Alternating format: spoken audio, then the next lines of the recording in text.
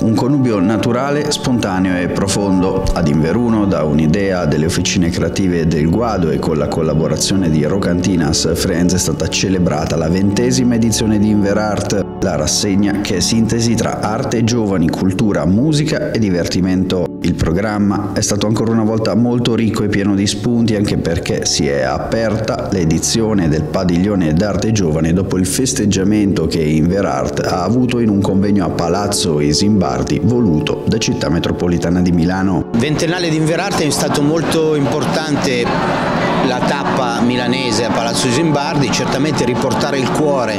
di questa manifestazione in Veruno è per me motivo di grande soddisfazione perché da qui parte tutto e quindi è giusto che sia in Veruno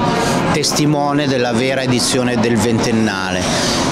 In questa edizione abbiamo suddiviso la, mm, la, mostra in quattro sezioni, una sezione de dedicata proprio al ventennale a Palazzo Isimbardi, quindi abbiamo i cubi lignei in biblioteca con la mostra I Mascetti che è una mostra splendida e imperdibile. Qua abbiamo 20, le 20 lesene che raccontano eh, dell'avventura di questi vent'anni, poi abbiamo gli artisti selezionati dall'Accademia di Belle Arti di Brera, abbiamo gli, i giovani allievi, gli studenti del liceo artistico Inaudi di, di Magenta e naturalmente come sempre abbiamo i battitori liberi, gli autodidatti, coloro che si propongono perché è un padiglione d'arte giovane ma è anche un padiglione d'arte libera come, come il concetto di libertà per noi è molto importante, il concetto di sperimentazione per noi è molto importante, quindi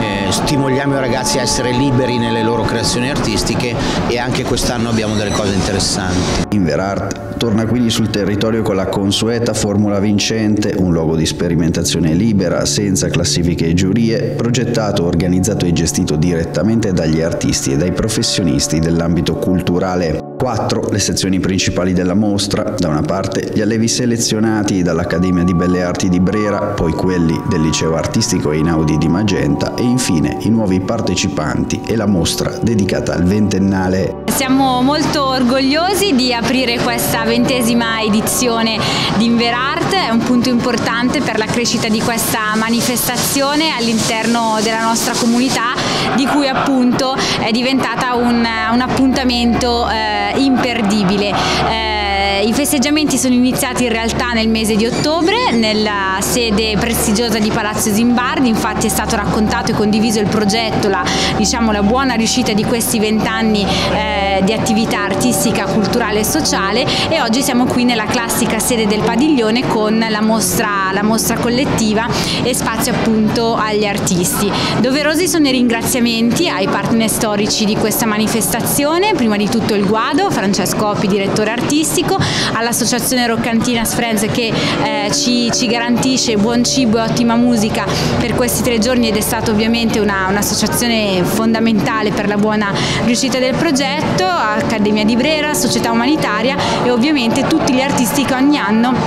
rinnovano la loro, la loro presenza e ci fanno conoscere eh, la, loro, la loro passione per tutte le forme dell'arte.